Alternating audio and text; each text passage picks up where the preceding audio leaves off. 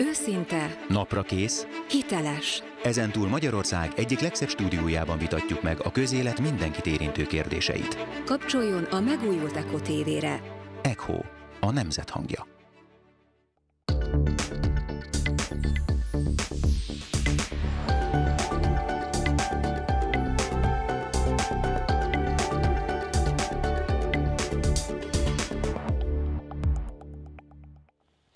Múlt vasárnap tartották Hódmezővásárhelyen a polgármester halála miatt kiírt időközi választást, ahol a függetlenként induló Márkizaj Péter nyerte a Fideszes alpolgármester Hegedűs Zoltán ellen. Orbán Viktor miniszterelnök szerint Hódmezővásárhely egy választási laboratórium volt. Adja magát a kérdés, elbízhatja magát az ellenzék, illetve kell -e stratégiát változtatnia a Fidesznek. Vendégeim mindehhez pedig Deák Dániel politológus, a Fidesz a figyelő munkatársa, illetve Szántó Miklós igazgató az Alapjogokért Központból. Szervusztok, jó estét kívánok! Jó estét kívánok! Hát milyen országos következtetést lehet levonni a múlt vasárnapi választási eredményből? Egy országos következtetést mindenképp le kell vonni, az pedig az, hogy a fidesz kdnp nek a szimpatizánsai azok nem dőlhetnek hátra, és nem bízhatják el magukat. Az április 8-ai választás az egyáltalán nem lefutott. Látjuk, hogy az ellenzéki térfélen folyamatosan próbálkoznak olyan technikai, hatalomtechnikai alkuknak a meghozásán, amelyel azt szeretnék elérni, hogy a lehető legtöbb szavazót egy irányba tolják az ellenzéki térfélen. Ugye most a napokban soros paktumként híresült el ez az egész együttműködési módozat. Ennek az a célja, hogy minden egyéni körzetben az ellenzéki pártok keresnek egy olyan jelöltet, aki a legnagyobb szimpátiával rendelkezik még az adott körzetben, és a legjobb esélye van arra, hogy megnyerje a választást az adott körzetben. És az is egy olyan szempont, hogy itt olyan jelölteket keresnek, akik Soros Györgynek az elvárásait teljesítik, tehát, Tehát bevándorlás, kvótapártiak, kvótapártiak, bevándorláspártiak. bevándorlás párti kérésekben sokkal inkább egy befogadó álláspontot képviselnek, és a déli határkerítést le szeretnék bontani. Tehát látszik ez a, ez a fontos alkupozíció, ez a hatalomtechnikai alkú az ellenzéki térfélen, és Hódmezővásárhelyen ezt tesztelték. De itt ugye, amit mondtál, itt 66 egyéni körzetről van szó. Ennyivel már nyerhetne az ellenzék, vagy legalábbis átfordíthatná az 50% plusz egy szavazatot? Hát ez az a határ, amit szoktak mondani, hogy ilyen kb. 40 választókerületet kellene elveszteni a fidesz kdnp nek hogy ne legyen meg az abszolút többsége, de itt nagyon sok mindenem múlik, ez a töredékszavazatoktól elkezdve az országos listás eredményig bezárulat, ez egy hozzávetőleges szám. És visszatérve a Hódmezővásárhelyi eredményre, ugye vannak olyan szociológiai jelen, jelenségek, amelyekre azt szokták mondani, hogy nem maga nem magának az eseménynek van döntő hatása, hanem az esemény értelmezésének.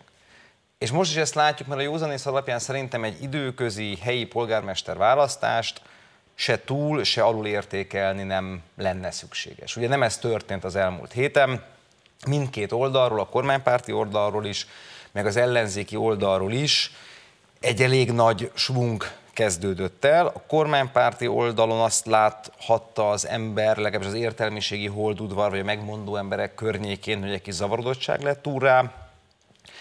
Az ellenzéki oldalon pedig szerintem egy túl nagy nekibuzdulás annak, hogy akkor itt most mindenki mindenkivel összefog, összefog és jól leváltják a, a Fideszt. Ennek köszönhető egyébként, hogy a Republikon, illetve a századvég is végzett méréseket. A Republikon még pár nappal korábban, mint ahogy a századvég is, mind a két közvéleménykutatónál a Fidesznél tapasztalható egyfajta visszaesés. Az egyiknél magasabb a Republikonnál, mondjuk ott az SZDSZ-es volt, SZDSZ-es köt, kötődés az értelmezhető, érthető, hogy milyen okokból kifolyólag, de a századvég esetében is ugyanez tapasztalható.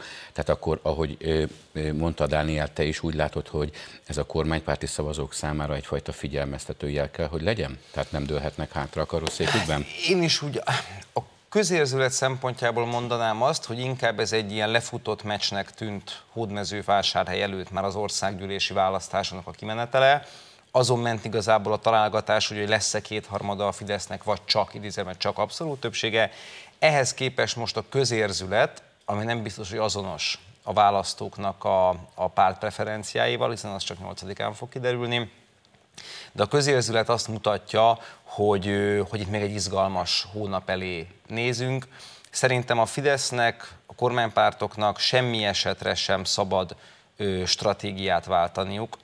Tehát taktikai módosítások elképzelhetőek szerintem a kampányban, de a, a nagy kontextust, hogy ez az egész választás a bevándorlásról és a multikulturalizmushoz való viszonyunkról szól, azt nem szükséges, nem szabad, nem kell megváltoztatni, de azt hiszem, hogy ezt támasztotta a miniszterelnök pénteki rádió interjúja is, ahol, ahol ő is ebben a keretrendszerben beszélt a választásokról, hogy a bevándorlás a központi téma, és ez szerintem hosszú távon a mi életünk szempontjából igaz is, meg a gyermekeink szempontjából. Az ellenzéki ö, Igen, mert oldalon ennek, pedig... Ennek, ennek az... nagyon sok kihatása van, tehát most a, beszélünk a migránsokról, a kerítés megvédéséről, de ugyanakkor ennek gazdasági, társadalmi, kulturális, politikai következménye Ezért is persze ezt lehet soros tervnek hívni, globális migráns paktumnak nevezni, de itt maga a jelenségről van szó, hogy egy multikulti társadalmat szeretnénk vagy sem. Rögtön átadom Dánielnek a szót, csak azzal akartam lezárni az előbbieket, hogy még ellenzéki oldalról szerintem kimondani azt nagyon könnyű, hogy össze fognak fogni és hogyha okos magatartást tanúsítanak a kormánypártok, akkor úgy is készülnek hogy akár az utolsó percben is összefoghatnak, visszaléphetnek az ellenzéki pártok, de erre majd kitérhetünk, azért roppantúl sok politikai, jogi, választás, matematikai, tényezőt, nehézséget kell figyelembe venni az ellenzéki pártoknak akkor, ha valóban mindenki mindenki javára visszalépne. Dani, ez valóban előválasztásnak tekinted? Ugye korábban a, a szocialisták, illetve az ellenzéki pártok ezt szorgalmazták, hogy legyen egyfajta előválasztás, ahol meg tudják magukat mérettetni, hogy ki a legesélyesebb jelölt egy-egy választókeretben. Csak ugye itt az a kérdés, amiről Miklós is beszélt, hogy ez egy önkormányzati választás volt. Az eddigi tapasztalatok azt mutatják, hogy az önkormányzat mindig mást mutat, mint egy országos országgyűlési választás, hogy helyben az emberek sokkal inkább az adott személyre szavaznak, mint sem inkább pártra. Pontosan erről van szó, és ez a lényeg, tehát országos következtetés levonni egy ilyen helyi időközi, méghozzá polgármester választásból nem lehet levonni.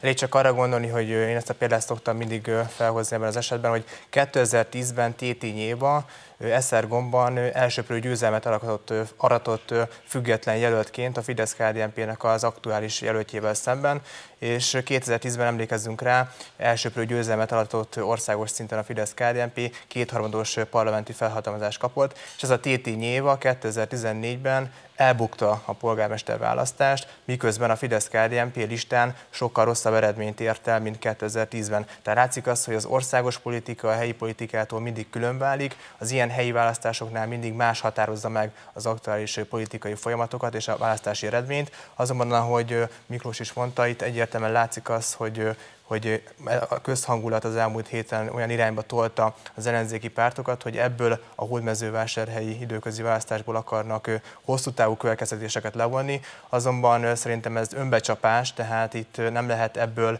olyan következtetést levonni, hogyha mondjuk egy adott körzetben összefognak a pártok, és egy jobbikos jelöltet állítanak egy adott körzetben, akkor ott mondjuk az MSZP-s vagy a DK-s szavazó az le fog majd szavazni a jobbikos jelöltre, mert ez nem így van, tehát itt kutatások támasztják alá, más időközi választások is ezt bizonyítják, és a 2014-es választás is ezt bizonyítja, amikor a balliberális pártok összeálltak és kormányváltóként voltak ugye elnevezve 2014-ben, akkor is azt láttuk, hogy ezeknek a pártoknak az összeadott támogatottsága még januárban 35% volt, és április áprilisra ez a támogatottság jóval 30%-kal Igen, csak ugye most felmérésekről beszélünk, de mennyire lehet hitelesnek tekinteni ezeket a méréseket, ugyanis kiszivárgott információk szerint Hegedű Zoltánnék is végeztek egyfajta becslést mérést ott helyben, az szerint elviekben ő neki kellett volna nyernie, a végeredmény mégis egészen más mutatott.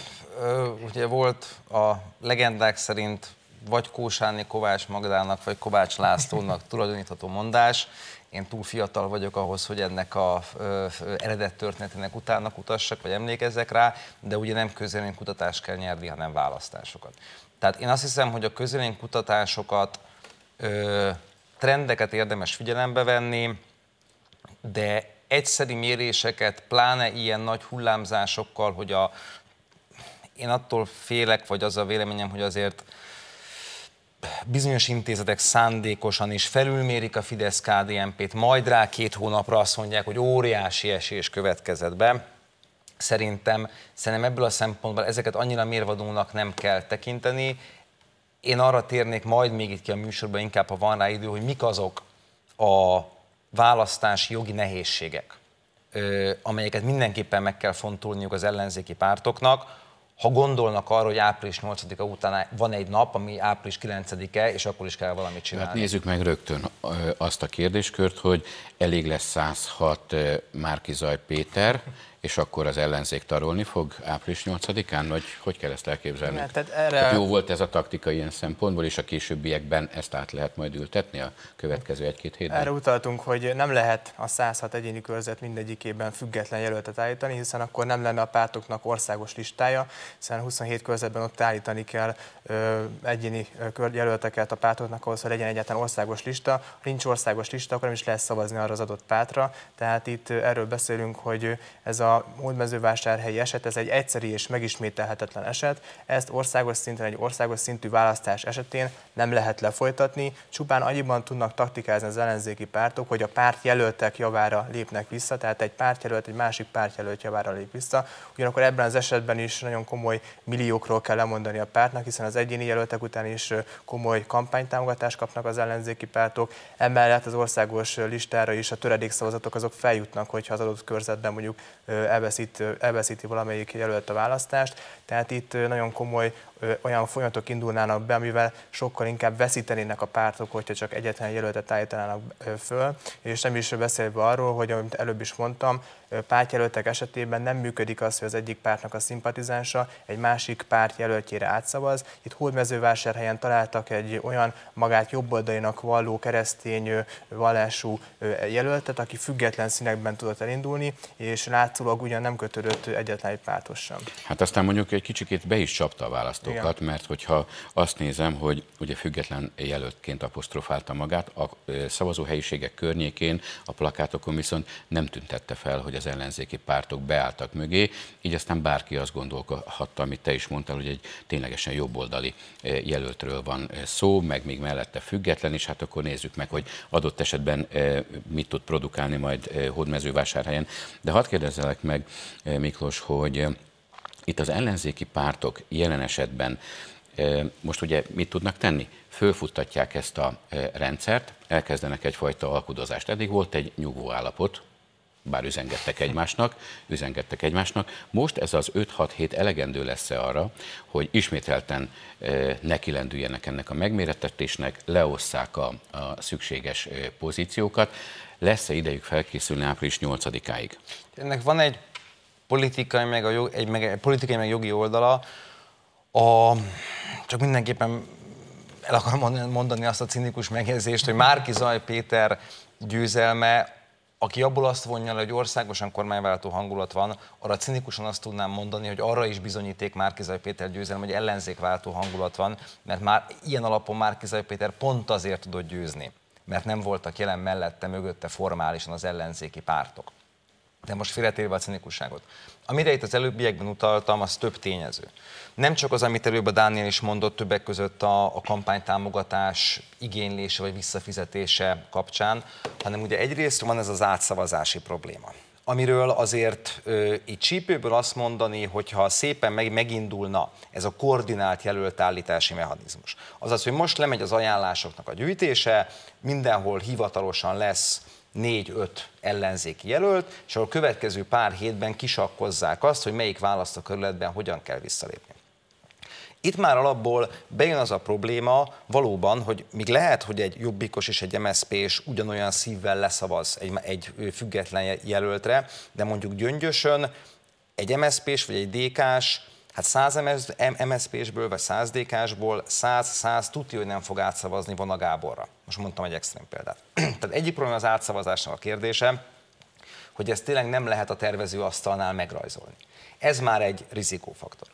A másik rizikófaktor az az, hogy azt figyelembe kell venni, szerintem, hogy vannak országos listák is, meg van bejutási küszöb is. A az elmúlt pár napban, hétben az ellenzéki pártok annyira elkezdtek koncentrálni az egyéni választókerületekre, hogy már-már természetesnek veszik az például, hogy az MSP párbeszéd együttes listája meg fogja ugorni a 10%-ot, az LMP az 5-öt, a DK az 5-öt. Na most, hogyha ilyen koordinált jelöltállítás zajlik, és ö, sporadikusan vannak mondjuk így az egyes pártoknak a hivatalos jelöltjei, akkor az bizonyos, hogy ahol egy pártnak nincsen hivatalos egyéni jelöltje, ott azért kevésbé vagy kevesebb listás szavazatra számíthat, mint hogyha lenne hivatalos egyéni jelöltje. Ez már egy, szavazat, ez, ez már egy listás szavazatveszteség, és itt hozzáfűzöm, hogy nagyon-nagyon fontos, hogy a töredék szavazatoknak a száma, számai, azok az országos lista ö, bejutási küszöbének meghatározásánál nem számítanak. Tehát nem tudják azt mondani az LMP-sek, hogy ők nagyon sok helyen visszalépnek, de majd az a pár győztes kerület kompenzálja az ő veszteségüket országosan, mert csak az a szavazat fog számítani, amit az LMP-re vagy a DK-ra országosan leadtak. Ebből fakadóan ez is egy dilemma, hogyha egy párt túl sok helyen lép vissza, túl sok engedményt tesz, akkor komolyan kockáztatja azt, hogyha bejutási küszöbb környékén van, hogy lehet, hogy nyer egy pár egyénit, de óriási blama nyilvánvalóan, hogyha, hogyha nem, nem jut be listán a parlamentbe. És akkor ehhez jön még az, hogy akkor mondjuk sok jelölt visszalép, aki után megigényelték az 1 millió forintos támogatásokat, azt vissza kell majd fizetni. Hát plusz, vagy nem fizetik plusz, vissza, erre is volt azért már példa az elmúlt években. Volt, de most ott új szabályok vannak, tehát ö, én csak arra utaltam, hogy politikailag mindenképpen kalkulálni kell azzal, hogy akár a jobbikkal is koordinálva visszalépnek az ellenzéki jelöltek, de az ellenzéki oldalon is végig kell venni azokat a nehézségeket, amelyek egy ilyen koordináció esetében felmerülnek. Kunhalmi Ágnes, a szocialistáknak a fővárosi elnöke azt mondta, hogy kukába dobott szavazata jobbikra adott szavazat. Dúródóra, jobbikos, szerint viszont a szocialisták be se fognak jutni a parlamentbe a jelenlegi felmérések, illetve hát az ő véleménye alapján. Ti milyen következtetéseket vontok le az ellenzéki pártok ilyen irányú üzengetéseiből? Tehát amikor arról beszélünk, hogy egymás szavazótáborai az ellenzéki pártoknak ugye nem lenne hajlandó leszavazni a másik pártra, akkor itt azt is láthatjuk, hogy a pártoknak a vezetői, a pártagság is nagyon komoly ellentétben van egymással, tehát csak arra gondolnék ilyen szempontok mellett még, hogy mi befolyásolja azt, hogy a választók kire adják le a voksukat, azt, hogy kinek adják a kormányzást a kezébe. Tehát az országnak a stabilitása, az országnak a kormányozhatósága az egy ugyanilyen fontos szempont a választók számára, mint mondjuk az, hogy melyik jelöltre adják le a voksot. Tehát itt ez befolyásolja. Látják azt, hogy 2010 és 2018 között egy stabil kormányzású ország volt, ez párosult egy nagyon komoly gazdasági stabilitással is, tehát a politikai stabilitás az nem válik el a gazdasági stabilitástól, hogyha az ország kormányozható és van egy olyan döntéshozó szerve, egy stabil kormány, amelyik egyik pillanatra a másikra tud reagálni, akkor ez egy jó országot eredményez. Elég csak arra gondolni, hogy 2015-ben annak volt köszönhető, hogy Magyarország olyan gyorsan tudott reagálni a bevándorlási válságra, hogy egy stabil kormánya volt, nem kellett koalíciós vitákat lefolytatni mondjuk a déli határkerítésről, hanem rögtön meg lehetett hozni azt a döntést, és rögtön fel lehetett építeni a déli határkerítést. Most gondoljunk bele abba, hogyha lenne egy Jobbikkal, DK-val, LMP-vel, MSZP-vel fémjelzett kormány, ahol mondjuk Mona Gábor egy belügyminiszteri pozíciót kap, Szél Bernadett nem tudom, külügyminiszteri pozíciót, akkor egy, igen, egy, egy ilyen döntés esetén milyen koalíciós vitákat kellene lefolytatni. De egyébként, lehetne, arra, egy... egyébként lehetne, vagy tudnának így kormányt alakítani? Igen, igen már kormányalakítás is probléma lenne, de csak 2015-öt képzeljük el. Ha akkor egy ilyen kormánya lett volna Magyarországnak, akkor a bevándorlási válság az letarolta volna Magyarországot, és egész Európát, és nem tudjuk, hogy jelen pillanatban hogy néz neki az ország. És arról nem is beszélek, hogy tényleg a kormányalakításnál már összevesznének ezek a pártok, már maga a miniszterelnök személyében nem értenének egyet. Annak mennyi realitása van, Miklós, hogy jobbikos körökben arról beszélnek, hogy vidéken majd a szocialisták át fognak szavazni a jobbikra, a jobbikos jelöltekre, és ezáltal a jobbik meg fogja nyerni a választásokat. Erre utaltam az előbb, hogy ez az átszavazási hajlandóság mekkora? 100%-os, 80%-os, 70%-os, 50%-os, nagyon nem mindegy. Mert akkor le, mi, mi, mi történik a lemorzsolódó szavazókkal? Otthon maradnak, átszavaznak a Fidesz jelöltére, és a többi. Tehát én ezekből az ellenzéki, a nyilvánosság előtt zajló purparlékból purparlékat inkább egy, most elnézést a keményen megfogalmazásért, egy inkább a, a te anyád elnevezésű politikai vitaműsor gegjeit tudnám, gegébe tudnám ezeket elképzelni. Ide-oda mennek ezek az üzengetések, ami pontosan a hitelesség, a komolyan vehetőségüket ássa alá.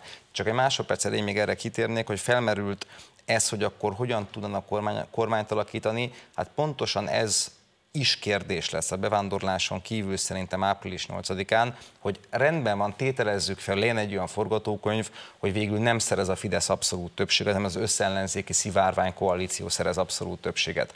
Mi történik április 9-én? Hát nem lesz kormány, és aztán meg kellene, előrehozott meg kellene, meg kellene szavazni egy ö, miniszterelnököt, ami van nagyon nehezen, vagy nem fog menni, meg kellene hozzá a Jobbiktól elkezdve a DK szavazat, a MSZP, LMP, stb., ha bejutnak.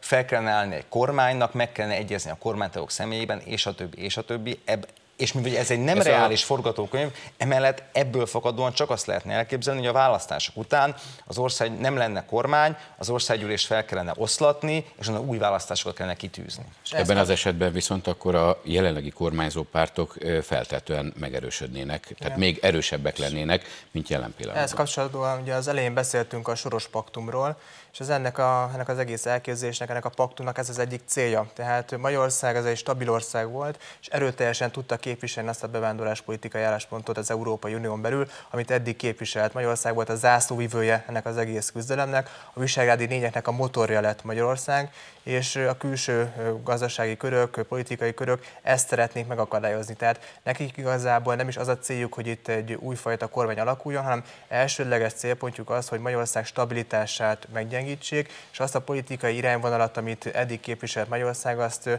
teljes mértékben ellehetetlenítsék, és ennek igazából egy ilyen szivárvány koalíció, egy ilyen morbid koalíció az egyik eszköze, hogyha ilyen koalíció lenne április 8-át követően, akkor itt el tudnák érni azt, hogy a magyar álláspont, a magyar politikai stabilitás az megszűnjön, a semmibe vészen, és mondjuk egy uniós tárgyalás során Magyarország ne tudja képviselni az eddig képviselt álláspontját, és egy ilyen kormány, egy ilyen könnyen befolyásolható kormány egyik pillanatról a másikra végrehajtja azokat a diktátumokat, amit Brüsszelből küldenek, és a különböző külföldi gazdasági, politikai nyomásgyakorlásnak egy ilyen koalíciós kormány sokkal kevésbé tud ellenállni. Az az igazság, hogy ezt még nyilván nagyon sokat tudnánk elemezni, és fogjuk is majd még április 8-áig, meg azt követően is.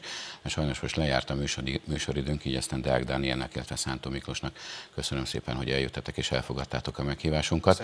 Fogunk még majd találkozni ebben a eh, kérdésben. Kedves nézőink, ez volt erre a hétre az Ekomélek kollégám nevében is. Köszönöm szépen a figyelmüket a viszontlátásra.